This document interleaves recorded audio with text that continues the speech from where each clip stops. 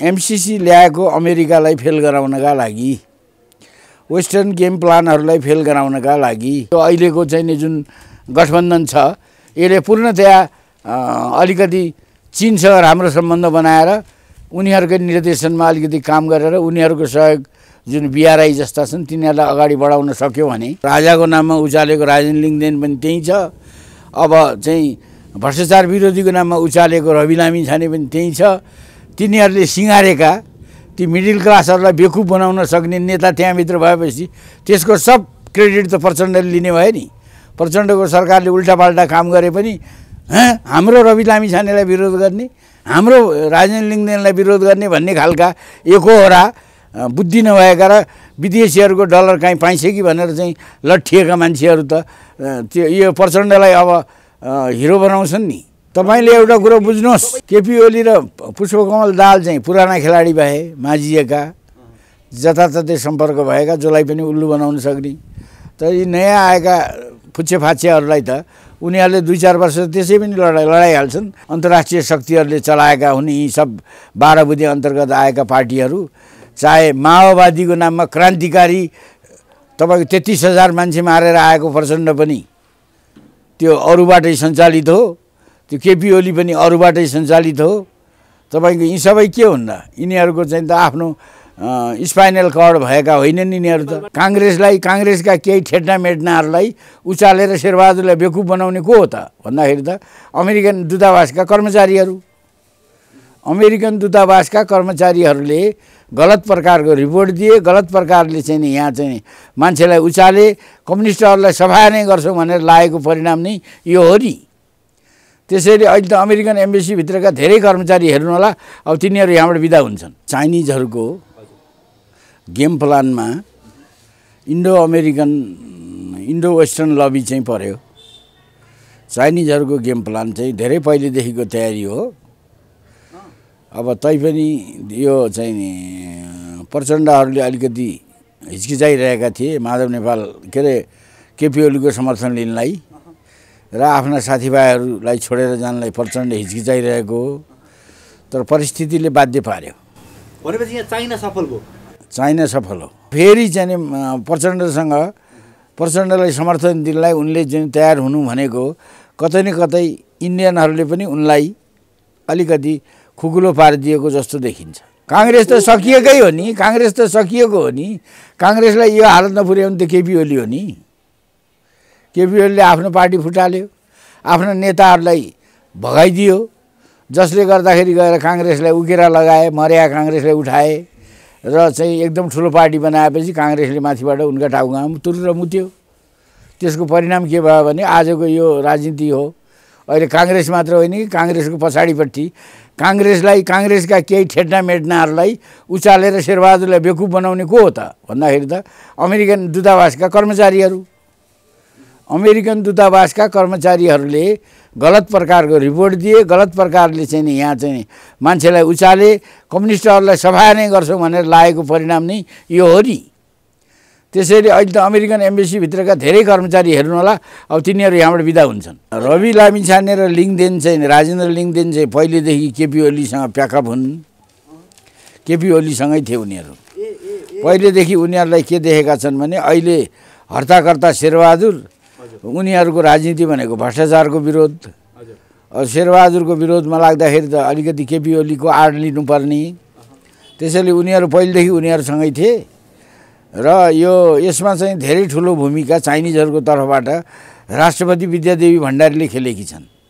केपी ओलीलाई मनाउनेदेखि लिएर प्रचण्डलाई मनाउनेदेखि लिएर यो रवि लामिछाने राजेन्द्र लिङदेनसम्मलाई पनि विद्यादेवी भण्डारीको धेरै ठुलो हात छ केपी ओलीको चक्रव्यूह केपी ओली अब उनी स्वयं किङ पनि हुने भए र किङ मेकर पनि भए। र केपी ओलीले उहाँसँग छ चाबी।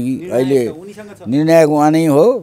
र अब उनले राष्ट्रपति फेरि पनि आफ्नो मान्छे ल्याउन सक्ने भए सभामुखमा पनि उनको बार्गेनिङ हुनसक्छ। होइन? त्यसैले गर्दाखेरि उनले अब चाहिँ नि यदि अब प्रचण्डलाई फकाए जस्तै र प्रचण्डलाई ठाउँ दिए जस्तै माधव नेपाललाई पनि ठाउँ दिए भने उनीहरूको एउटा जुन जुन प्रकारको एमाले निर्माणमा त झलनाथ माधव नेपालको ठुलो भूमिका छ।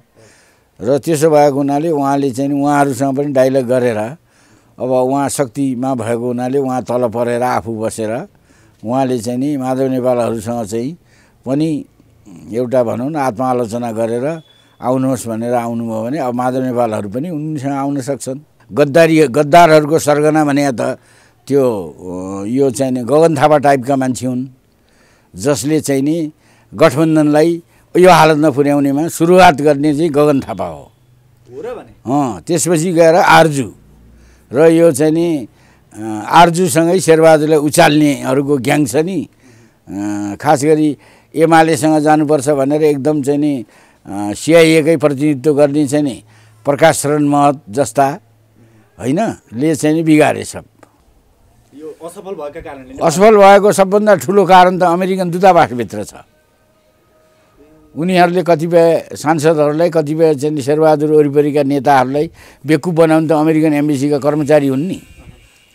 उनीहरूले लगानी गरेको मान्छेहरूलाई उनीहरूले जे भने पनि मान्ने भइहाले उनीहरूले उल्टापाल्टा पाठ सिकाए र शेरबहादुर छोड्नु हुँदैन नत्र हामीलाई गाह्रो पर्छ एमसिसी कार्यान्वयन हुँदैन भनेर भने अब यसको अर्थ के हुने भयो भने अब प्रचण्डको दुर्गति पुर्याउने र गठबन्धन तोड्ने र प्रचण्ड एउटा निरापद रूपमा गइराखेका मान्छेलाई सफाया गर्ने चुनावमा हराउने माधव नेपालको राष्ट्रिय दल हुने थियो त्यसलाई चाहिँ दुर्गतिमा पुर्याउने त को?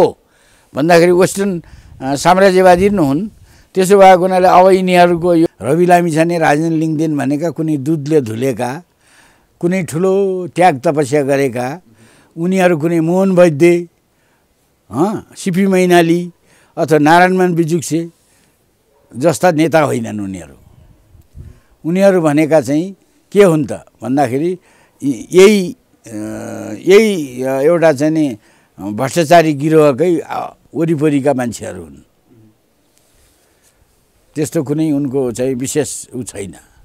अब अन्तर्राष्ट्रिय शक्तिले परिचालन गरेका मान्छेहरू भनेपछि त्यो विभिन्न जे जे नाममा परिचालन गरे पनि ती चाहिँ तपाईँको चाहिँ नि उनीहरूको स्वार्थ अनुसार काम गर्छन्।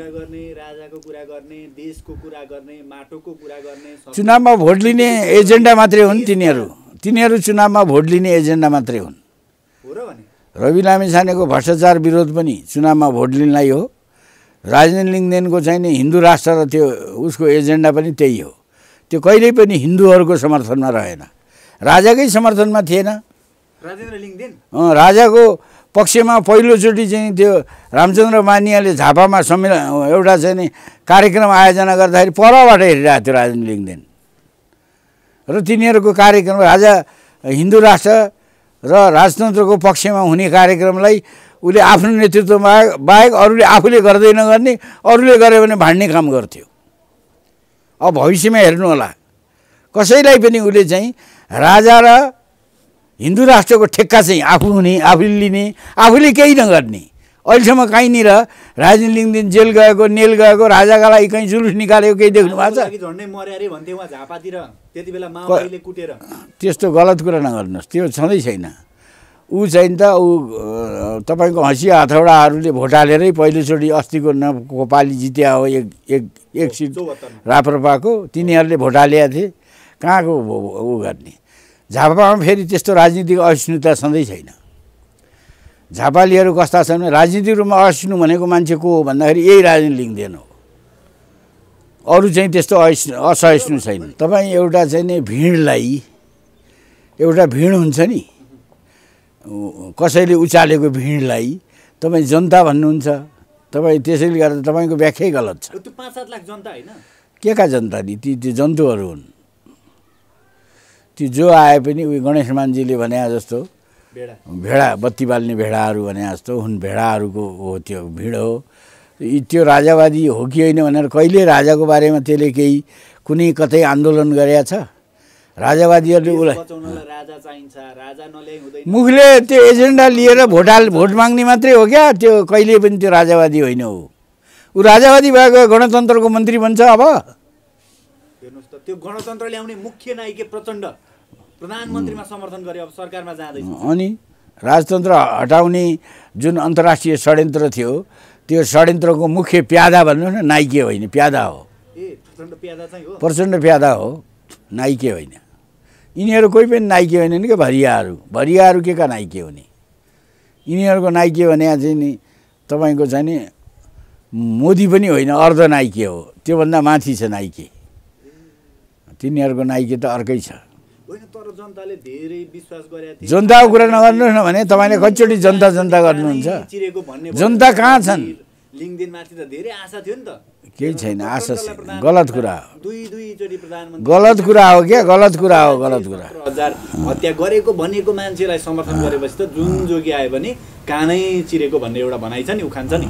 त्यही चरितार्थ भयो त्यो चाहिँ त अलिकति अहिले अहिले मिल्दैन। तपाईँले अलिकति हेर्नुहोस् न। उसले जुन जोगी आएको कानै चिरेको भन्दा पनि यिनीहरूको चाहिँ के हो भन्दाखेरि पार्लियामेन्ट त हङ आयो।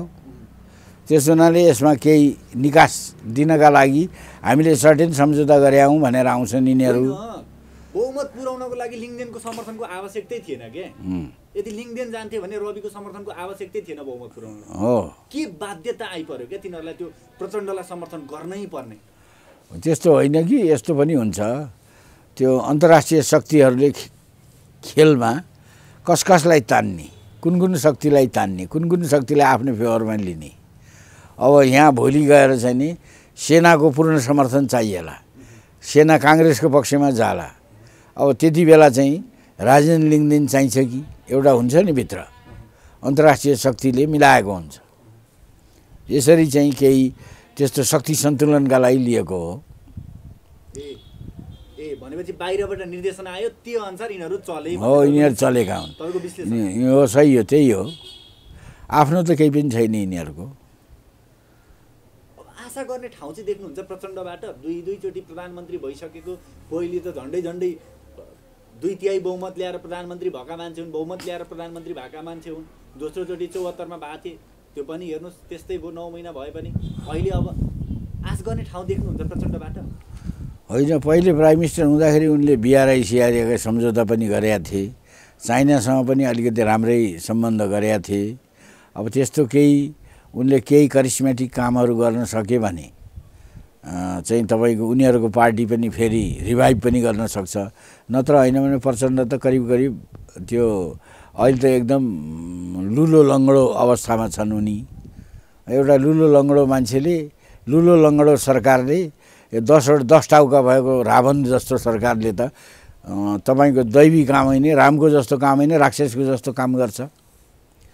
त्यसैले गर्दाखेरि यो सरकारको बारेमा अहिल्यै केही सकारात्मक कुरा भन्ने पनि स्थिति छैन।